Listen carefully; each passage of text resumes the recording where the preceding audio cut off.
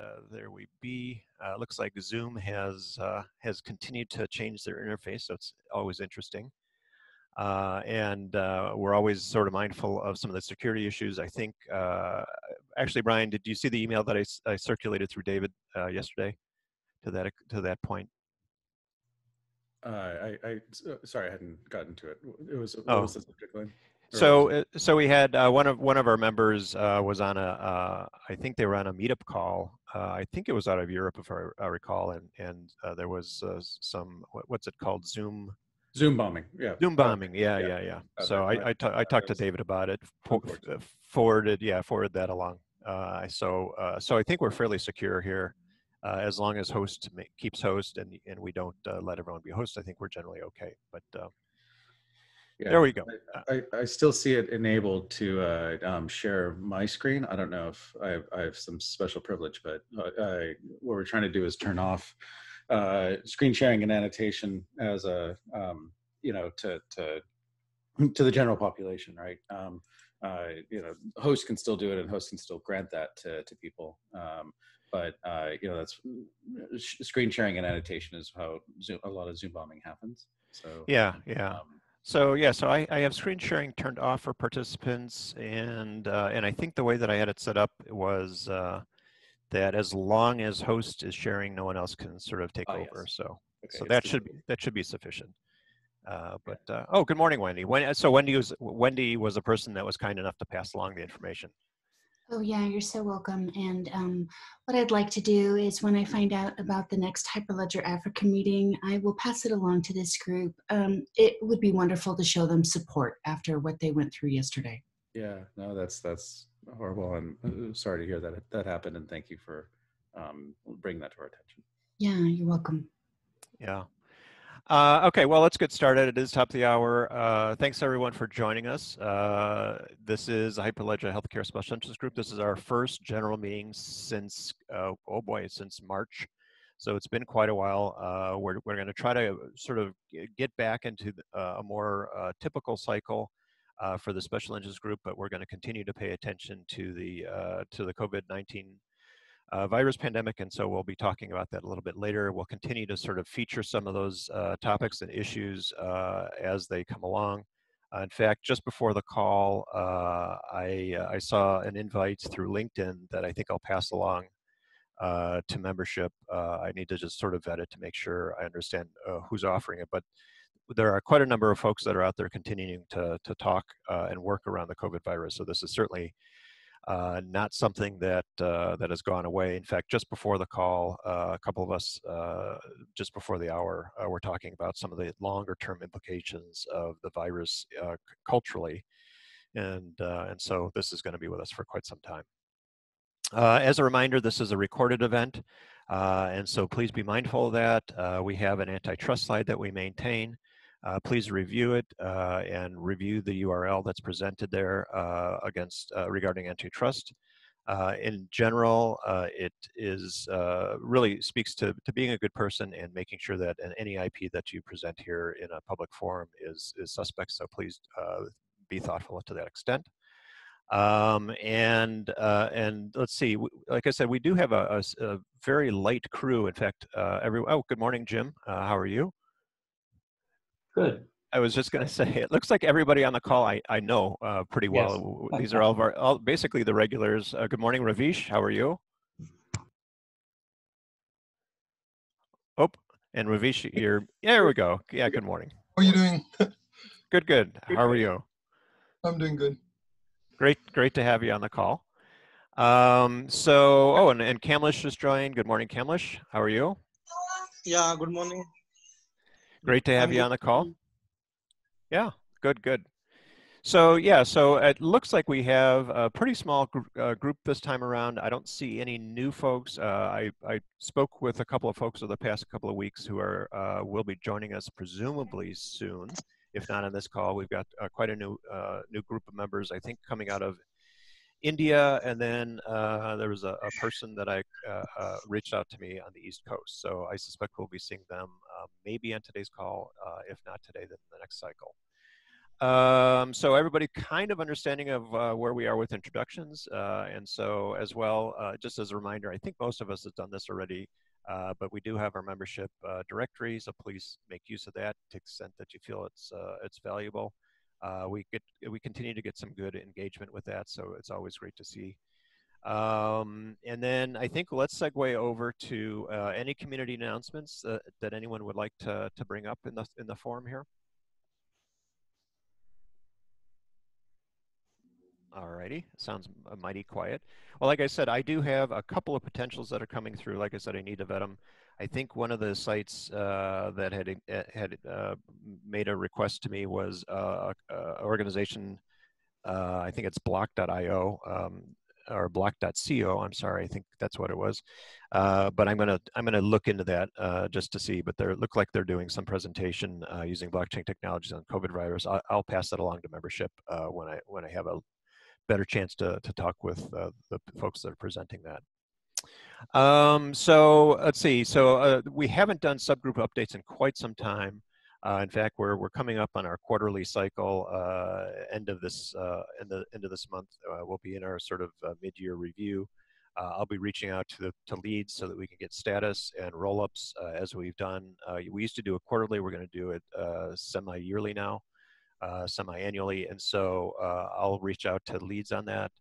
Um, so uh, for patient subgroup, uh, uh, Dennis uh, and I just exchanged an email a little while ago. It is his birthday today, so he is actually on the lake or a lake. I'm not sure which lake. this is back in Switzerland. Um, he said he was going to try to call in on a mobile phone. So, I that boy, that's a that's commitment if he does. Um, so uh, he did let me know that the patient member subgroup continues to move forward. Uh, they they have done their uh, POC e-consent work, uh, and they're, what they're doing uh, right now is they're uh, sort of reconvening to, to, to decide how how to proceed beyond their POC. and it, just as a reminder, the POC that they've worked is e-consent in the pharma industry. Um, Dennis, who who leads this, has an extensive background in the pharma space uh, back in Europe. And, uh, and the e-consent work that they've done, he's done a ph phenomenal job uh, engaging quite a number of, uh, of HCSIG members uh, at a global level. Um, including, uh, oh gosh, Kent Lau, I think, who's a pharmacist out of Hong Kong, if I recall, was a, a major player in that work effort. Um, I don't see anyone or don't recognize anyone on the call who's also uh, a member of the subgroup. Just offhand, I could be wrong. Um, I've attended that subgroup. Um, I'm not there all the time, but I have attended it on a fairly regular basis. And you're right about Kent. He's actually got two different POCs he's working on right now, um, just testing out uh, for his application to see if um, how Fabric compares to Besu. So he's he's actually in the middle of working on that. Oh, good. Yeah, and so so what uh, so what Dennis passed along to me is they're they're going to be uh, reconvening, and they do get together uh, every other week. Um, they're going to be uh, convening to decide how to sort of move forward from their POC, and the POC itself, um, evidently, uh, from Dennis's point of view, has gotten uh, a lot of very good attention out of Europe, and so I I would imagine uh, they'll they'll be able to sort of maybe turn that into something. Uh, and I don't know if he's looking for funding support or how he's going to move forward with it, but that's kind of the plan going forward. Um, anything else, Jim, that that I may have missed? And this is, so here's my problem. I wish Kent was here because I'm going to say something that is probably 75% right, but could be 25% wrong. I believe the POC he's running is on Fabric 1.4 on the Fabric side and the problem with that is I know enough on Fabric 2.0 to say many of the conclusions you would draw about Fabric from 1.4 would not be at all valid in the 2x environment for what it's worth. And this is June. Next month, the end of next month, they're supposed to be uh, shipping 2.2 of Fabric in theory, uh, which is the long-term uh, stable release. The bigger thing is that the functionality, how the whole platform runs both operationally and from a I'll call it a smart contract coding perspective is significantly different. Um, you know, so it's it makes it difficult if you do a POC on one four, and then try to say, okay, here's here's what I come away with as conclusions. it's you know that's has some validity, but probably not a lot in many cases. Yeah, it's a it's a, it's a bit time box. So I don't know, Brian. Do, do you have any insight into the re release schedule for for Fabric offhand? Uh, just that 2.2 is planned to be a long-term support release, um, uh, and uh, it will be. I, I, don't know. I, I, I don't. I don't know when it'll uh, be released, but it should okay. be within the next month or two. Um, yeah. Ap- apologies for putting you on the spot. right. So yeah, so that sounds really interesting, Jim. Uh, and yeah, and Kent usually is on the call, and so uh, I'll I'll work with Dennis to see if we can get some update uh, from Dennis on specifics to that. Um, and uh, as I said, uh, I do know that they are working to sort of uh, sort of decide how how to move forward after the POC. And and it was a very successful POC. there were quite a number of folks that that have been involved at, at different levels. there's a gentleman out of I want to say Russia Alex, I think, uh, is sort of uh, the short, uh, I think it's Alexander. And uh, Jim, correct me if I'm wrong, but I think he also did the Sawtooth uh, uh, healthcare um, Hyperledger lab work. Um, and so um, he's a factor involved in that as well. and actually, to that point, I was just exchanging some some some talk with um, Vipin, who's one of the leads for one of our other work work groups uh, not SIGs. And so Vipin, I think we're going to see uh, helping to sponsor uh, another healthcare project in um, in Hyperledger Labs, and so that's great.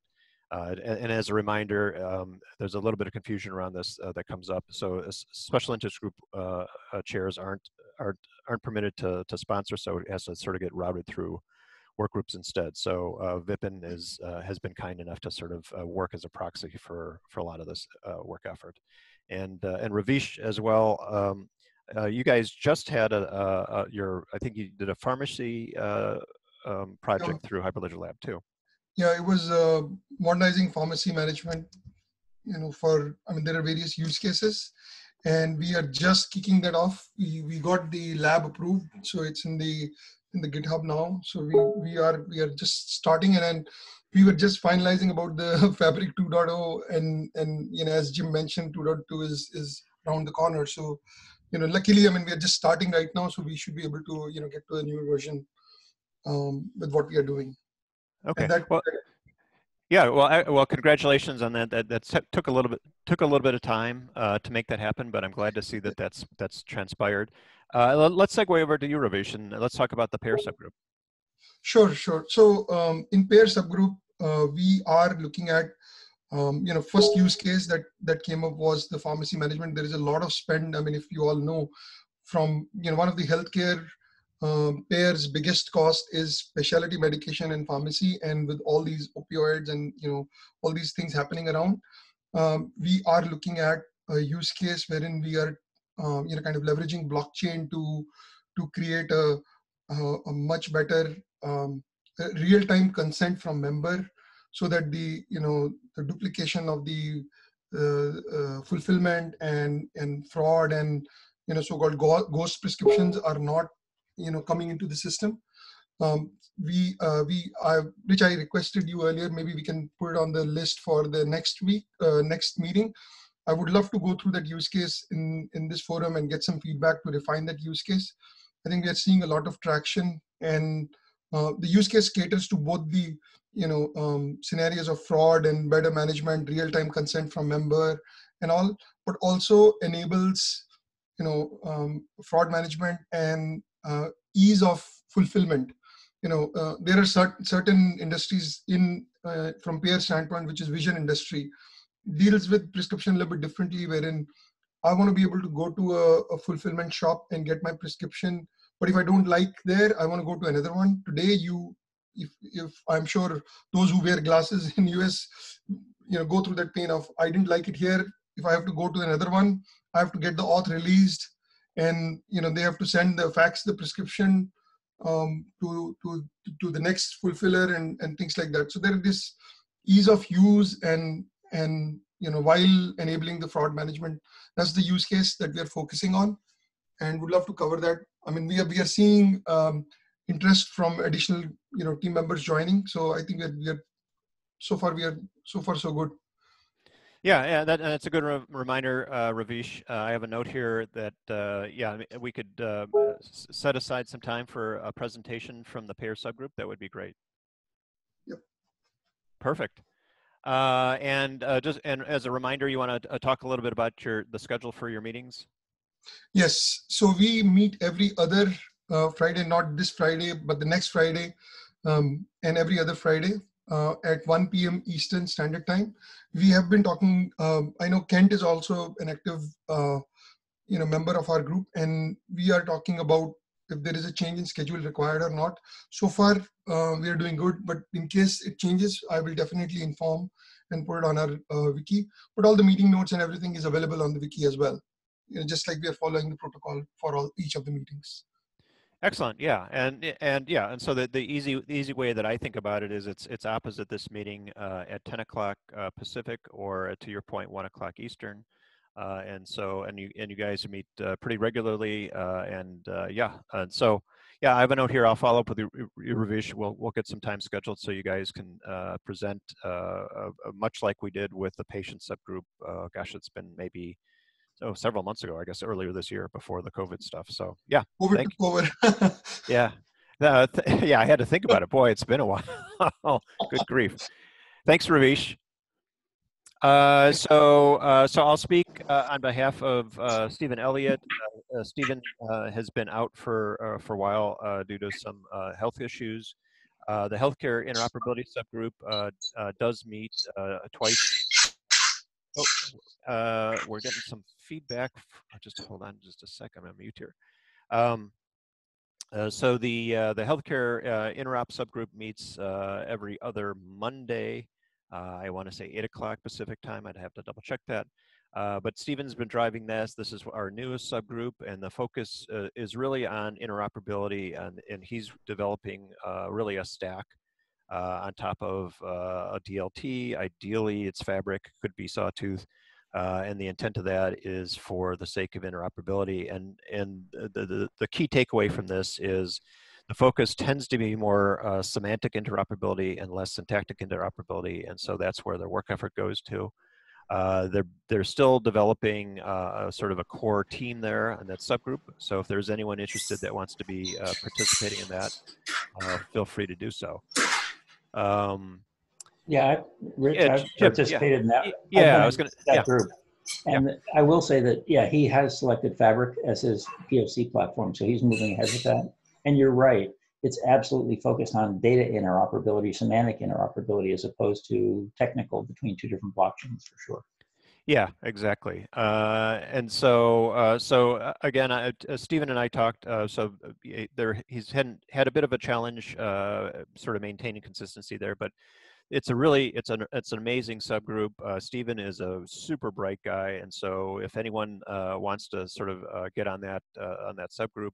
and to sort of help continue to drive that again, we're building a core team around that right now, and so looking forward to that.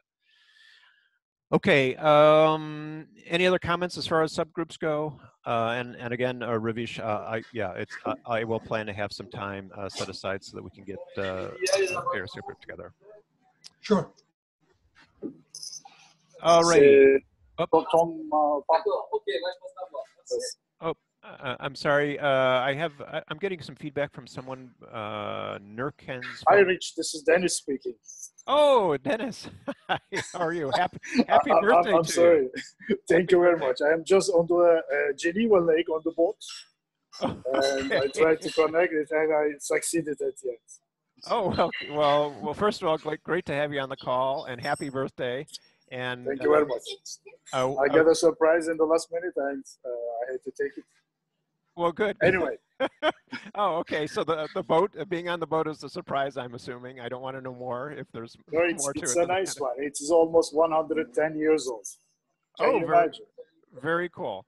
Well, I I, I did uh, uh, I did do uh, your your uh, patient subgroup update, but do you wanna you wanna talk a little bit more about some of the work that you guys have been doing? Yes, uh, we are reorganizing our group after our POC of e-consent and uh, you might already uh, made an update. I don't uh, talk too much. everybody from uh, from the list call is very much also welcome to join our uh, subgroup because Uh-oh. we can define another use case altogether, also relevant to the corona days, COVID-19 days, and patient data together with the standards is very much relevant. And I just also had yesterday an interesting call uh, with one of the big pharma in Switzerland. One of the topics they are very, very much uh, interested are is fair data. I also send an email to you, Rich. Yes, yes, I saw. And any any person, any uh, interested parties are very much welcome to our group. And this is every second week on Monday before Stephen's meeting uh, seven. This is seven uh, in the morning Pacific time, and uh, I'm looking forward to our cooperation. Oh, excellent. So, uh, so, so I'm, uh, so Dennis, just to confirm, I'm, I'm able to forward that along to membership, that invitation. I beg your pardon. I couldn't catch you. Oh, I'm sorry. So, so what you forwarded over to me regarding that is that an open invitation to all HCSIG members? Exactly. Very much so. Oh, perfect. Thank you very much. Uh, yeah, absolutely. I will do so. Thank you. Um, well, thanks for that, uh, Dennis. Uh, have a great birthday. Uh, Thank you very much. And, and stay safe. perfect. perfect timing. yeah, exactly. All right. Have a great weekend, guys. All right. Take care. Thank you, Dennis. bye bye. Wow, that was timing, timing for that. Uh, okay, so uh, so that's our our subgroups update. So let's move into our ad hoc teams. Uh, so I have an, uh, generally speaking, I have an open sort of uh, call to anyone that is uh, a Confluence expert, and we're always looking for ways to to sort of rethink and re, put redesign to to this to this wiki uh, as well as extend that uh, obviously to any any other uh, special interest groups that we have through the Confluence uh, domain space here in in Hyperledger. Um, uh, I, I'm always just interested in, in, getting a better sense for how we want to structure things, and so that's uh, always available to anyone that's interested. As well, our HC SIG use case development team, led by our, our Vice Chair Erica Bierbauer, uh, continues uh, to, to work on use case development as they relate to uh, blockchain uh, technologies. Uh, the, the, the premise behind this use case team is to develop a, a set of consistent use cases that define some of the, the various features and, and functionality around a specific blockchain technology um, availabilities or functionalities that are unique to blockchain. Uh, and this really came out of uh, one of the HIMSS meetings that I, I, participated in. I guess it's now been a couple of years, and quite a number of folks had asked uh, if uh, if we provided use cases so they have a bet so they had they had a better opportunity to understand where the the real value in blockchain technologies uh, lie. And so. So the idea for this is to develop sort of a library of, uh, of consistent use cases that we could use to distribute and obviously post here. Uh, but get the message out about where the sort of sweet spot uh, of, of uh, blockchain technology happen to be uh, as it relates to DLTs um, and uh, you know digital credentialing um, and and um, currency. I'm losing my mind here. Um, and, and currency or tokens. Um, so, uh, so that's kind of the idea behind it. Uh, and this has been something that actually Wendy, uh, you set up, oh gosh, uh, probably about six months, maybe a year ago or so. Did you yeah, about talk, a year ago. Yeah. Did you want to talk a little bit about it? This is something that you and I put together. Uh, Absolutely. Um, sure. So some additional considerations are that, um, remember how Judith Faulkner talks about Epic um, and how she describes Epic. She says that she sells Epic to the business office. And in using that mindset, it's really important to write these use cases so that a broader audience can understand and that the business office could see the value proposition behind the use case.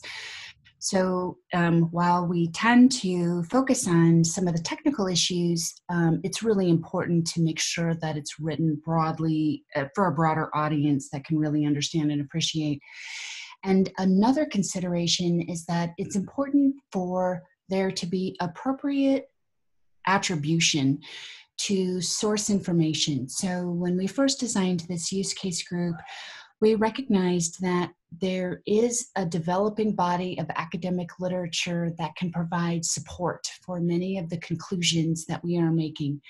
And because this is a healthcare special interest group, um, remember that healthcare organizations like academic medical centers tend to focus on empirical evidence. And while empirical evidence is still growing, there is, again, a body of literature developing. And in order to be credible to these academic sources, we really need to cite academic literature for some of the claims, and it will be much better received. So the goal was to design a document that was three to five pages. I think we decided that the sweet spot was like four to five pages.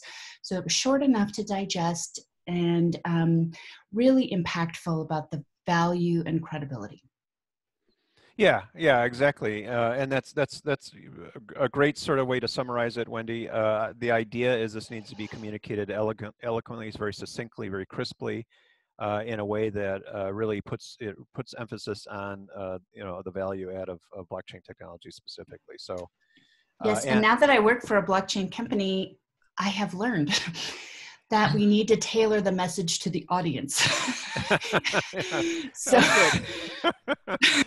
this this is great. This is go go go ahead, Ravish. Yeah, yeah, go ahead. Rich, I, I just wanted to um, you know kind of echo what Wendy was talking about, and that's that's one reason why you know one of the things that we are also doing is to showcase that um, you know leveraging some of these low code platforms integrating with the blockchain and giving the business user the power to think through in terms of use cases because what is happening is um, you know when you talk about blockchain you you know your business tends to more think of developers than they have the ability to think through this problem also and not just bury themselves down into the technology you know but at, even at a business level and the ability that we can create in the community for them to try out certain things themselves will actually help with the adoption.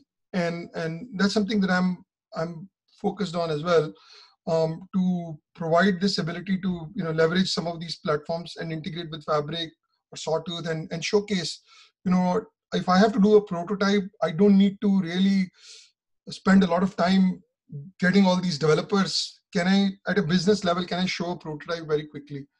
I, I think those things are very important for business to think because they themselves don't even if we explain it to them they will still don't know what business problem they should solve that mapping of that business problem and the blockchain capability that gap is what has to be filled and they that can be filled by virtue of you know trials and prototypes and whatnot that will help them clarify their business model and, and business use case.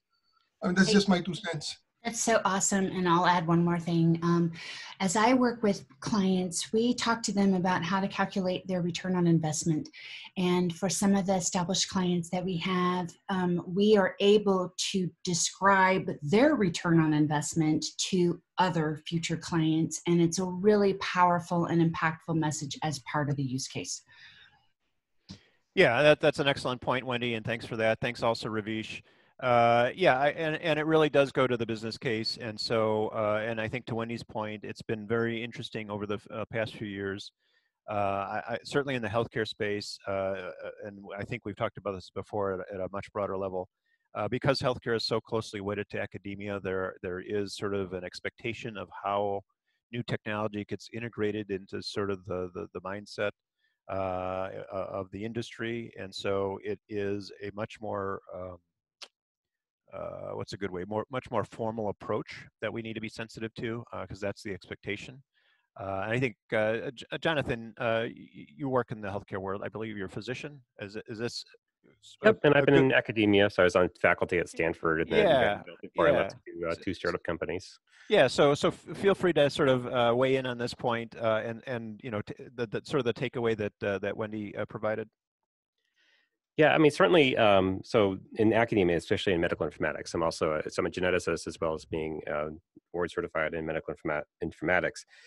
And so, yeah, so definitely, I think there is a, uh, the academic um, necessity, I guess, for research discovery, and I think that's always intrinsic in the healthcare delivery model. I think, and certainly when I was at Vanderbilt, it's even actually baked into the consent process. I was on the bioethics um, IRB uh, board, and we actually at Vanderbilt actually uh, when you sign the consent to treat, the first paragraph actually describes um, acknowledging that you are get, uh, participating in research. This is a research organization, and the data derived from your care will be used for knowledge discovery. And this is really this concept of a learning healthcare system where we learn from every single patient who we uh, treat, and that goes into a larger pool. I think the challenge is, is ultimately in, in healthcare is how do you facilitate knowledge discovery and dissemination of new knowledge with this idea of competition in healthcare because healthcare systems and, and also like I, have actually uh, so judy faulkner actually came to uh, vanderbilt when vanderbilt decided to go with epic and uh, there was this whole discussion about data blocking and so i think it's and i think her point was that um, uh, epics and, and cerners of the world aren't where the data blocking happens data blocking happens at competitive healthcare organizations that don't want you to go to their competitor down the street. And so I think it's really the sense of how can we have our cake and eat it too? How can we have knowledge discovery and disseminate that knowledge discovery among academic institutions and yet be competitive? And that's, I think, the challenge. Yeah, that's, that's, a, that's a really good insight. Uh, and and uh, so I do, uh, I, am currently doing some work with Providence Health, which is here in the Pacific Northwest. Uh, and uh, from a provider's point of view, uh, the the data that data backend is is absolutely valued. In fact, it's it's interesting, and I'll just talk sort of separate from Providence. Uh, that my observation between uh, the provider payer industry is it's always a, a sort of a, a, tug of war in terms of who, who wants access to the data and, and to what extent. Uh, and I'll just I'll speak at a, again at a very general level payers always look to, to find ways to gather more data uh, that they, they can on, on the patient population. Uh, providers are very, in some ways, resistant to that. And again, to your point, Jonathan, it seems to be the case that the, the emphasis right now is on the value of that data uh, and it's sequestered as a result. It's treasured, uh, maybe is a better way to put it. Uh, and maybe that needs to change going forward so that we can think more in terms of uh, the sharing of the inf information. Uh, my, my focus is on interoperability, and so uh, there are certainly technologies that enable that, but it's in sort of an ongoing issue of discovery. In fact, I was on a call yesterday with Uh, what, what, we call here in the U.S. Uh, the Blues, uh, Blue Cross Blue Shield organizations, and and the really discussion continues to circulate around how do we share information in a secure way and in a way that uh, all parties feel as if they have some level of engagement and still are able to protect information that to them is IP. But it's interesting because it mirrors actually this idea of the Linux Foundation. So we actually, like, where you do actually have a lot of contributors, um, either people writing code for open source software, but yet the, the some of the end users are competitors, and so there really is a very similar model of of of of how the Linux Foundation is is organized, where we have collaborators come together for the greater good for the ecosystem, and yet we all can compete in our own niche. And so there's a, a very interesting balance in ecosystem there. Oh yeah, that, that's a great that's a great model, Jonathan. Yeah, yeah, I, I think you're absolutely right. Um, I think, uh, and again, this this this is maybe just uh, sort of history of the organization uh, of the industry of healthcare uh, it, I think there's, it seems to be that there's more of that sort of discovery happening now where the notion of community sharing, uh, community best practices is, is just seems to be getting uh, sort of started. Maybe, you know, maybe it's getting emulated uh, by virtue of the fact that we have, you know, an open source uh, model that's out there that it seems to work just fine. And, and yeah, and so to your point, that, that may be a, a certainly a valid observation. Um, so uh, so thanks for that discussion. I think we did uh, we did Erica a, a, great service on on talking around this. Thanks, Wendy, for adding your your sort of history on uh, the use case team. Uh, so that is that is ongoing work that Erica is driving forward on. Uh, they're meeting ad hoc at the moment, um, and uh, I do know she's working with a couple of folks right now on some active use cases. Uh, but if you you do have interest, uh, feel free to contact myself or Erica and uh, and and get yourself involved in that. Uh, we'll probably be extending open invitations to membership, um, sort of moving forward as as that team builds up, because it looks like they're going to need some more help going forward. So. Um, so anyway, great conversation. Thanks for that. I appreciate it. Uh, anything else uh, before we move forward? Alrighty, uh, and good good morning, Guillermo. Uh, how are you? Hello, hi Rich. How are you? Sorry, good. I just almost missed this call. Oh, good good to have you on the call. Uh, how's everything in Mexico? Uh, oh, it's pretty good. It's uh, getting traction. We are going to uh, present the Latin American uh, uh, regional uh, cluster in next Wednesday. And in Mexico, we are moving forward with the meetups. Thank you very much for asking. Oh, good. Glad, glad to hear that. Uh, so for those, uh, you, I think everybody on the call probably knows uh, Guillermo presented early on in, in during our special topic meetings, and so thanks Guillermo for that. And uh, and we keep in touch. And so uh, best of luck uh, going forward with meetups as well. Okay, uh, so let's get to uh, some unfinished business. Uh, we were just talking about the COVID virus, and in fact, that really obviously con continues to be an issue. so I didn't want to overlook that entirely. first of all, a thank you to everyone, including Guillermo, um, who we were just speaking with, uh, for his partic participation over the past few months. As I said earlier, uh, I think it's we started this in uh, in March, uh, and we just finished up. I think we had uh, seven or eight different sessions that we had set aside uh, that focused specifically on the topic of the COVID-19 virus pandemic. some some really amazing work happened, I think, as well. We got some excellent, very very unique insight. In fact, I share this information regularly uh, with people that I speak with uh, in the healthcare industry uh, as it relates to perspectives that we learned as as a team here uh, at a global level about how the virus uh, has been managed. Uh, it's interesting. I'm I'm I'm I'm imagining. I think it was a comment that Dennis made early early on as well. that relates to how different countries, and, and in many ways, those countries represent cultures, uh, have have really treated the, the, the pandemic differently, and as a result, uh, aspects of that uh, virus have uh, really influenced those countries very differently in in many ways, and so we're always uh, sensitive to that uh, as developers of solutions. that one one size doesn't necessarily fit all, and so thanks everyone for for your help, for your insight on that.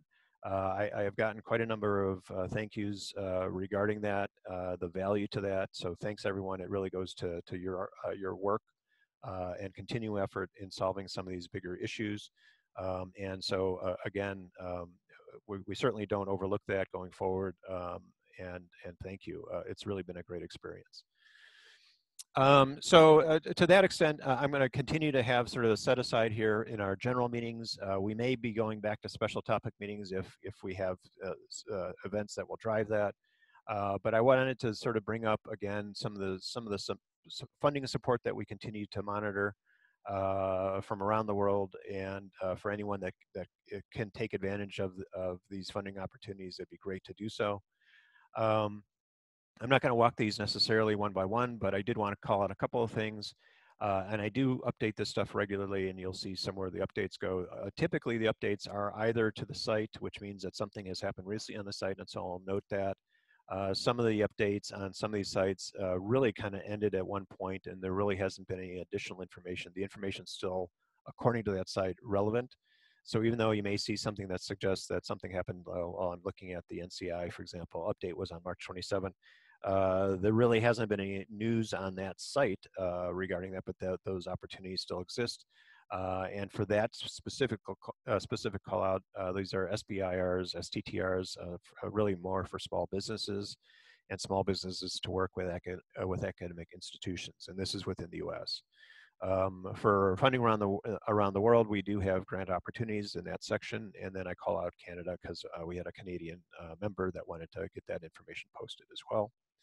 Uh, I did want to call out specifically two things through the Robert Wood Johnson Foundation. Uh, I, I, participated in some of these events in the past. Uh, it's a great organization to get involved in. and the deadline happens to be today, uh, later tonight. Uh, so nine o'clock uh, Pacific time, well actually one minute before nine o'clock Pacific time. and so I want to just call these out very quickly. you, you can sort of infer uh, that they aren't COVID specific, but you can kind of guess that they're really all about COVID. And so, uh, so we got two separate events here. They're somewhat similar and related, uh, and I believe uh, they are open to everyone, uh, and they are global. And so you may want to take a take a look at that. Um, but the flag for that is that the deadline is end of day today. Um, so, and then, like I said, the rest of these uh, we can walk through. Um, I, uh, the other call out I guess I would make is UC Davis Office of Research uh, continues to do a great job of summarizing uh, at a high level uh, uh, for resource for funding at a much broader level across multiple organizations. Okay, any any discussion around COVID? Has anyone been doing any work with the COVID virus solutions development, anything to that order that that you'd like to bring up? Jonathan, you should talk about your hackathon. Um, I did actually. I think uh, last the last call two weeks ago, we actually had a very successful uh, hackathon, uh, Stop COVID nineteen, uh, sponsored by um, uh, ConsenSys uh, Health, and we also had um, Hyperledger, and we actually had our esteemed colleague Brian Behlendorf as being one of the judges, as well as Vitalik Buterin, um, Joe Lubin, myself, Debbie Bucci, uh, we had some uh, phenomenal submissions. We had uh, over 500 participants, um, 50 to 100 um, mentors uh, who, who helped out uh, the use cases. Uh, in the end, we had, I believe it was 30 or so um, submissions. five to six of those went to the final round, and we had three great submissions. the winning team was uh, called D Plasma, which talked about convalescence plasma, uh, so donation of plasma to, fo- uh, to, to fight COVID nineteen, aka like from the movie Contagion, was actually like it's sort of like the the driving use case. Uh, we had some interesting um, immunity credentials uh, submissions, although I think I'm not sure if that actually made it to the final uh, three. Um, you know, the, the, the challenge is I'm heavily involved in the immunity credentials is this idea of immunity passport, and that's the use case we've been driving in the IEEE uh, healthcare identity working group that I'm involved in. And I think the what I struggle with is that it's not like this binary yes or no that you're actually immune either by exposure or by vaccination. It really is a system that how do you use that credential to for us to learn the efficacy of the immunization or vaccine or how effective or efficient is this vac- vaccine or your antibody test over time? So again it goes into this idea of a learning healthcare model is actually it's not binary yes i can go out of my house and leave and and go out and live my life and go to restaurants. It really is like how do we actually have a reporting mechanism so actually uh, we as a society can learn from that data? But I, I think the hackathon um, and I think a few of you on the call, including Brian, know that I've actually participated in or ran about five or six hackathons now. And I think it's a, a really great outlet, a mechanism for really a mindset of approaching this that I'm not going to be a idle bystander um, without any skills. I'm going to use my skills to change the world. Excellent. Well, good. Uh, thanks for that, Jonathan, and uh, great to hear that you had that that many uh, number uh, that, that number of folks involved.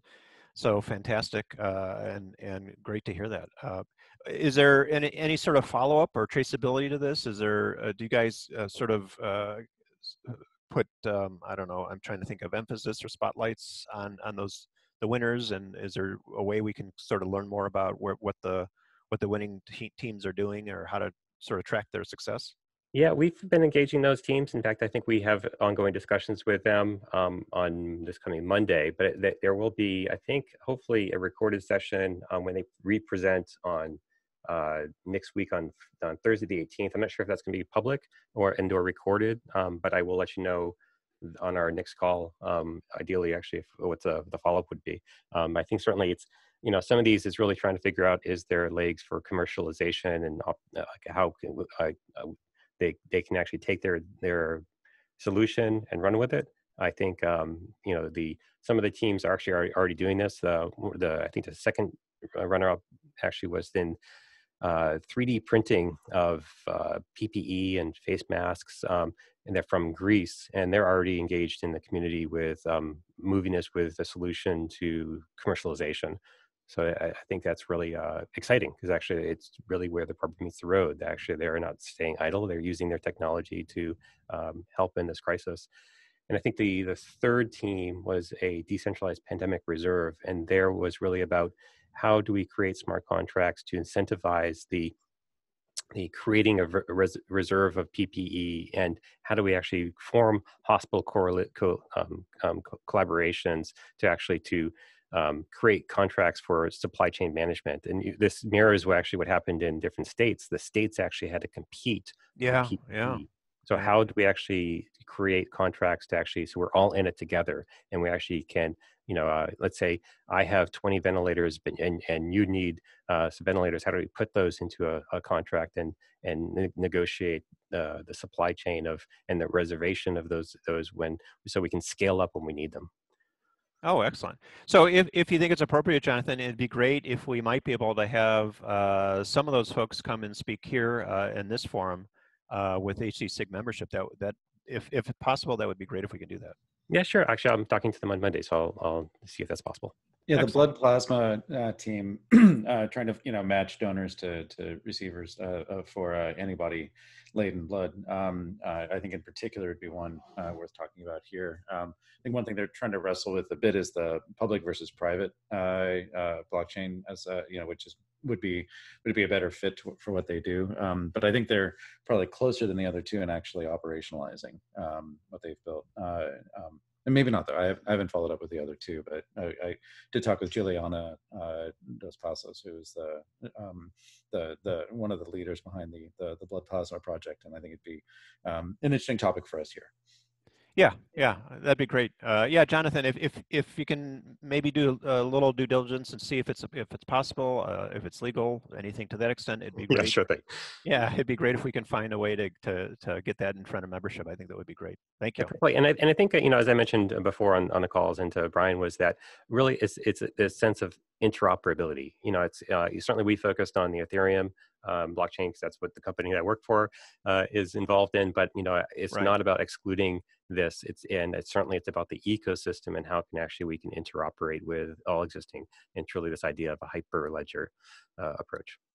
Yeah, yeah, exactly. And and and Brian, you'll have to cover your ears, but I think generally speaking, uh, membership here uh, for HCSIG still tends to be fairly platform agnostic. I think we're we're mostly in uh, still in a sort of education mode. Uh, whenever we do our uh, our surveys, uh, we we we sort of uh, get a kind of a sense for where the where the sensitivity goes on that, and and still uh, we really uh, don't have really divisions, real strong divisions. it really is more of a community approach to making use of the technology suite to the extent that they can. Uh, and uh, and really the distinction uh, is is really at a very very high level. I think Brian, to your point, pri private versus public, uh, and in healthcare, um, I think the tendency goes to private, but platforms, I think generally most most folks, I think generally are still somewhat platform agnostic, and it's really about education and learning. And no covering of ears needed here. We I certainly support that. okay. Yeah, and I should okay. also mention that we actually like the hyperledger Besu is actually contributed by ConsenSys, and that's the uh, Ethereum. Oh yeah, um, excellent point. Yeah, yeah, yeah so yeah. certainly absolutely uh, very good point. And I have one more question for Jonathan. Jonathan, if he's comfortable with that, just playing off. He, you, you had mentioned you were um, staying pretty close to some of the the credentialing uh, work related to COVID credentialing and such. Um, there's the COVID Creds initiative, and I think I saw somebody mention another um, kind of uh, proto standards eh, kind of governance um, thing starting up as well. What what is the right place for people to apply their their time or their interest um, in this in this space? Uh, uh, to, to, be helpful on this front or to, to see where the, the um, directions are heading? Yeah, I think I, am struggling with the COVID Creds initiative. Um, I, I, certainly I signed up for the email, and suddenly there was a press release that ConsenSys Health is a contributor, and so I was a little bit taken back by that because I don't understand the IPR protection of this pseudo like initiative of the COVID yeah. credentials, and I think it's um, I'm certainly much more comfortable in the space of the W3C working groups as did in the verifiable credentials uh, working groups, uh, and then the uh, certainly Hyperledger with uh, Project Aries and uh, and Ursa, where we're actually working out some of the cryptographic um, uh, interoperability. But really, at the at the end of the day, it's really about the semantic interoperability that I struggle with, which is that um, how can someone in, let's say, you know, Berlin, Germany, get vaccinated, fly to the U.S. and present that credential to the at the border and verify the governance and the trust model that that physician is credentialed and has the authority to actually issue that credential and how do we do that across languages so the overlay mm-hmm. capture network which is what paul knowles um, uh, is presented. You know, he's from the um, Human Colossus Foundation, and uh, and they've presented but there's uh, some uh, IP issues that I have reservations about about that approach, and I think I'm much more comfortable bringing those under uh, a project under, like I'd say, Hyperledger, uh, Aries, and or the W3. See, it's certainly, I, you know, it's these things take time, and I think I'm I'm concerned about this rush to ram these standards through the development process that we don't have it sufficiently vetted, um, or that we've it's it's it's haphazard and they don't really solve the real problem we're trying to solve. And I think it, you know, it's it's rushing that standard and where that's it's piecemeal, and then it in the end it falls apart because we didn't give enough due diligence to either the cryptographic interoperability or the semantic interoperability, or we've actually allowed a submarine patent to infiltrate the process. Yeah. Uh, uh, okay. And then, are there any other efforts than CCI? Um, worth tracking? Any other kind of standards conversations about this at W3C or, or elsewhere? Yeah, so we're at uh, ConsenSys Health. We're involved in the in the uh, M-COVID. So this is a MITRE Corporation um, and uh, Mayo Clinic, and so we meet once a week um, with mostly about the data sets that are coming out of out of this, and actually how do we share uh, data sets to actually do federated analytics and to learn from this. There aren't very many necessarily blockchain solutions to this. Um, certainly, as we're involved, we actually are trying to change that. Uh, that's uh, certainly you know Mayo Clinic. Uh, John Halamka is used to be at the at Harvard, the CIO of, of Harvard, and has uh, deep expertise in in medical informatics approaches to the data analytics. Um, you know, certainly there's ample opportunity for this to be help to be automated with blockchain uh, solutions, and yet that's um, still it's still hard to penetrate that as healthcare tends to be uh, slow to adopt these newer technologies. Okay, um, and I'll, I'll in, in, the line of questioning, thank you, Jonathan. I didn't mean to put you on the spot on, on some of this. No stuff. worries. Um, I, I, just wanted to mention for the rest of the um, working group, there uh, there is a rest of the SIG. Um, there is something that we're brewing here at the Linux Foundation. We're not public with yet, but um, it's uh, it, it, touches on the credentialing perhaps as a mid to long term thing. But the earlier kind of uh, uh reason for it is is uh, um, contact tracing and exposure notification. Um, there's just this uh, looming disaster we see, perhaps others are seeing in in the apps that are being released by the public health authorities um, for for contact tracing. And I mean disaster, it mean I mean somewhat you know a lack of trust amongst the population in these apps and a lot of them are you know even if they say decentralized or are trying to to put things kind of behind the scenes that would kind of compromise uh, whatever those promises might be of privacy and confidentiality that sort of thing so um, uh, putting together a public health initiative kind of focused on on those apps but also on helping scale the tooling that public health authorities would use for contact tracing um, don't want to say much more not much more to say uh, but there are some partners aligning around that and and looking at a, a launch um, in the next three weeks or so. Uh, that's all flexible. If anyone is is spending a lot of their time on contact tracing now, um, uh, or is connected to organizations that are, I, I think we're coming up with a really good model to scale this out. So um, uh, please follow up with me privately, and uh, I'm happy to, to share more. And I would be also be remiss if I didn't mention the Trust over IP stack, uh, so which is uh, coming out of the, the, as a joint development yes. project from the the uh, Linux Foundation. I think that is where the the synergy of the decentralized identifiers, verifiable credentials, as well as the policy and trust frameworks, the governance frameworks, actually build into the organizational infrastructure that actually allows this technology to meet governance. Yeah, and in particular with that, uh, uh, uh if, if, uh, if, identity is something that people are really interested in around this stuff, uh, there's a white paper that the foundation has published. It's kind of the introduction to the concept, and there's kind of four layers of governance.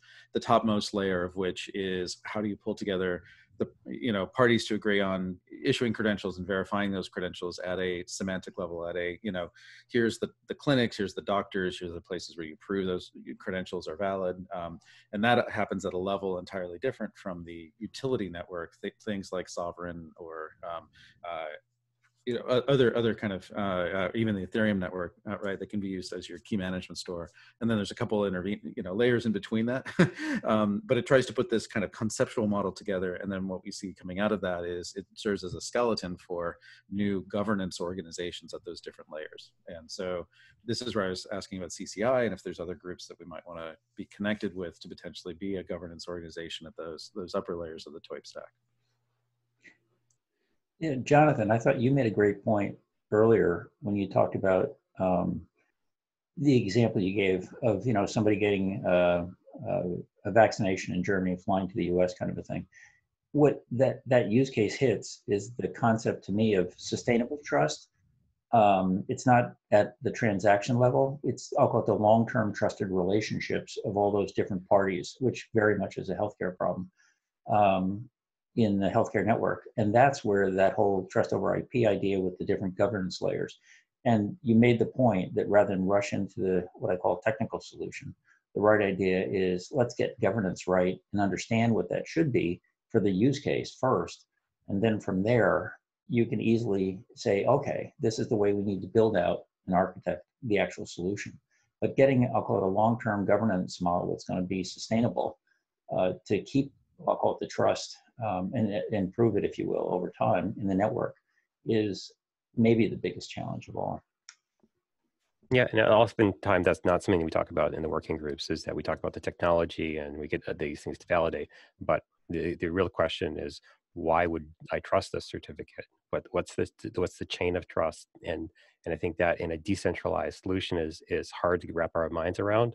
Uh, and because we we have this idea of this pillar of this hierarchy of a certificate authority of I, I trust it because it's issued by this organization but it's really going to be difficult to see how let's say your your driver's license is like the government is going to issue a, a, driver's license anytime soon under a cryptographic verifiable credential and i think it really would be like a distributed trust model at, at first and and really my I, I i'm a verifier and i know the issuer um, and but how do we extend that across borders? And i think it's great this is going to be a topic um, i'll be uh, on this panel uh, the un in september talking about the merger of technology healthcare and governance. And this is exactly the my point was we, we need to merge all those those three in order for it to be successful.